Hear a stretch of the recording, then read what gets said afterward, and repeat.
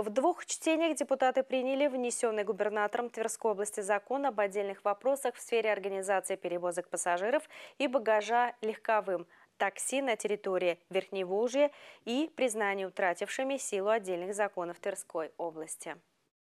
Закон закрепляет положение полномочиях органов государственной власти Тверской области в сфере организации перевозок пассажиров и багажа легковым такси, сроки действия права на осуществление деятельности службы заказа легкового такси. Все это позволит повысить эффективность государственного управления в сфере организации перевозок, а также создаст для граждан более благоприятные и безопасные условия пользования легковым такси.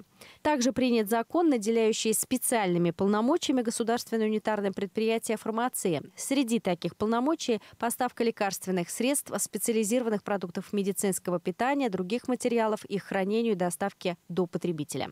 Еще областные парламентарии поддержали предложение сенаторов Российской Федерации, направленное на развитие малого и среднего предпринимательства. Например, в категорию социальных предпринимателей предполагается включить лиц, принимавших участие в специальной военной операции, а также ветеранов боевых действий.